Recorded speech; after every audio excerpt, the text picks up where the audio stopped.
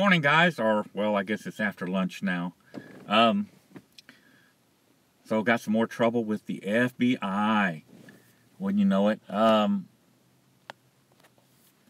I'm not going to go into details on that right now, but I will tell you that uh, I know a lot of you did not get the opportunity to uh, speak to anybody at the FBI there in El Paso. And, uh, uh, you know, it's your right to seek redress from your government. It's not their right to refuse to listen.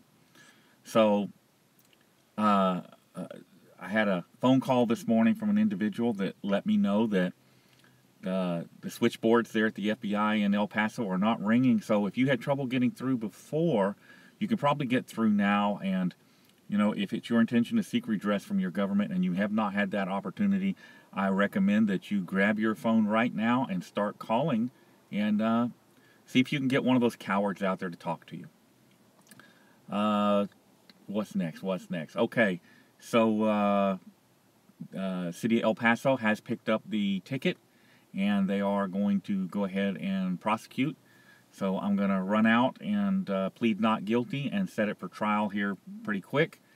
Um, I'll be sure and let you guys know when I'm out and about. Uh, right now I've got something else to take care of. Maybe you can see it there in the background. I will talk to you guys later.